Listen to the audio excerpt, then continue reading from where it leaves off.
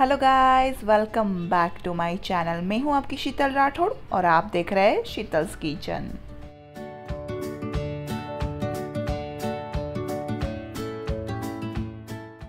So guys आज हम बनाने वाले हैं महाराष्ट्र का फ़ेमस मिसल पाव। मिसल पाव की रेसिपी खाने में बहुत ही टेस्टी और मज़ेदार बनती है और बनाने में बहुत ही आसान है। तो चलिए देख लेते हैं मिसल पाव कैसे बनाते हैं।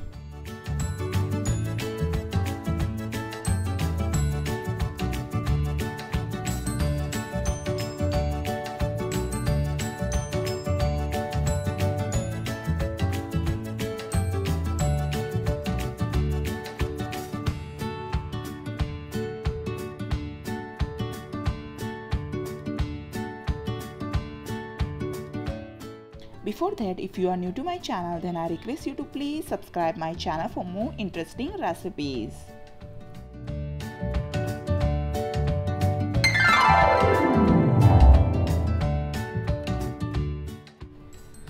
तो चलिए स्टार्ट करते हैं यहाँ पे स्प्राउट की करी बनाने के लिए मैंने ले लिया है थोड़ा सा ऑनियन धनिया पत्ता टोमेटो करी पत्ता गार्लिक की paste green chilli and sprout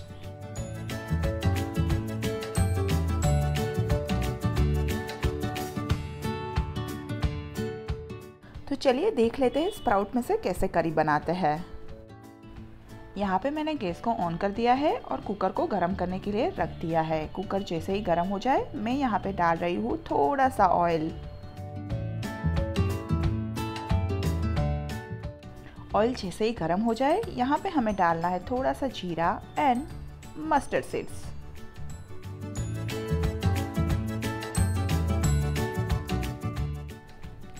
one tablespoon हींग, कड़ी पत्ता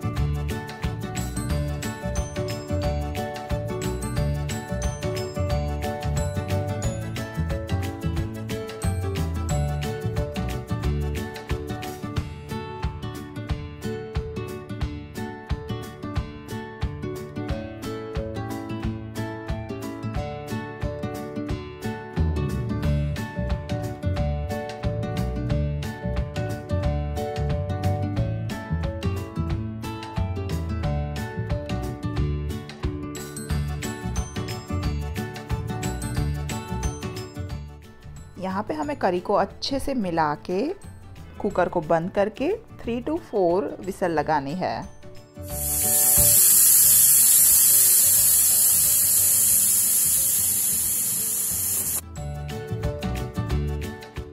यहाँ पे हमें गैस को ऑफ़ नहीं करना है। मैं चालू गैस पे ही थोड़ा सा लेमन ऐड कर रही हूँ। सो फाइनली गाइज़ हमारा मिसल पाव रेडी है और मिसल पाव को आप गर्मा गर्म मिक्स फरसान के साथ भी सर्व कर सकते हो। यहाँ पे मैंने हल्दीराम का all in one farsan use किया है।